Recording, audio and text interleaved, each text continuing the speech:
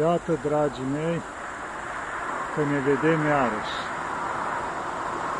Un pic cam mare zgomoto, sunt undeva în pădurile României, dar aproape de drum, că am lăsat mașina la marginea drumului și parcă nu puteam să nu vă spun câteva lucruri.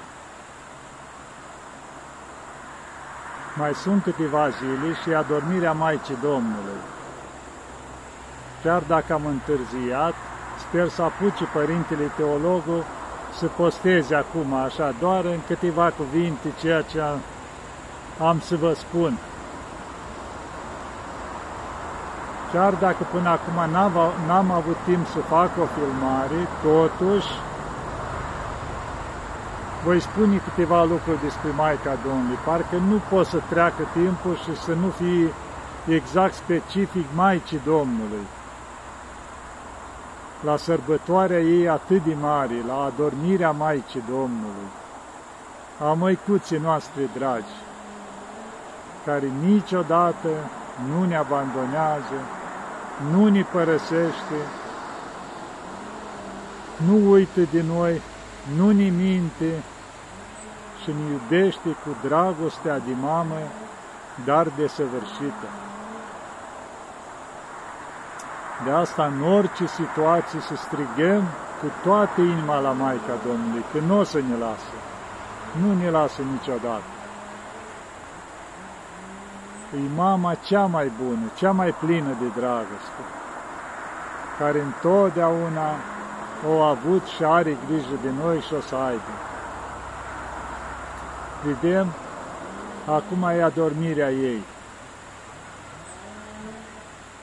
După tot ce a trecut ea până la adormire, vedem toată suferința de mamă, prin ceea ce a trecut, începând de la început, de la, cum se spune, chiar de la buna vestire, după aceea, când a spus ea, cum se zice, cele mai mari cuvinte, Iată roaba Domnului, fii mie după cuvântul tău de acolo mergând mai departe, până la încredințarea, cum se zice, în grija lui Iosif, care deja era foarte bătrân, nu după cum spun unii, era un bătrân cu viață sfântă și a fost încredințată lui din rânduiala lui Dumnezeu. Ei, toate cealante, nașterea Mântuitorului, fuga în Egipt, vedeți, toată istoria asta, chinul ăla, călare pe măgăruș până în Egipt, întoarcerea înapoi și toate celelalte după aceea, creșterea Mântuitorului, să-și vadă fiul bătut, chinuit, scuipat și la urmă răstignit. Câtă suferință au avut Maica Domnului prin asta. Și după aceea au avut bucuria învierii, să-L vadă pe Mântuitorul ca Dumnezeu înviat. Și după aia și ea o ieși la propovăduire, după ce a fost încredințată Sfântului Apostol și Evanghelist Ioan. Și vedem că după un timp a venit și timpul plecării din lumea asta. I s-a arătat Mântuitorul și a spus că vine să o iei. Și atunci ea s-a rugat, iar apostole de unde erau duși în toată lumea asta, au fost aduși pe norii cerului, bineînțeles în afară de Sfântul Apostol Toma, pe care Dumnezeu l-a folosit în anumite momente. Vedem, ne-a încredințat din, din învierea Mântuitorului prin atingerea, cum se zice, cu degetul lui în coasta și în rana, cum se zice, a Mântuitorului și la mâini, ca să ne încredințăm noi că într-adevăr Mântuitorul a înviat pentru mai multă încredințare, să spunem, și la fel și aici când apostolii au fost aduși prin norii cerului, doar Sfântul Apostol Toma nu a fost adus. Era tocmai în India. Ei, și când Maica Domnului s-a așezat pe patul ei și a rămas bun de la toți cei dragi din jur, așa cum se spune în liniște, și-a încredințat sufletul în mâinile Mântuitorului care vinise și și l-a luat. Și după aceea spune că apostolii au plecat în procesiune de acolo, de la casa Sfântului Apostol și Evanghelist Ioan, până în Ghețiman să-i ducă trupul Maicii Domnului.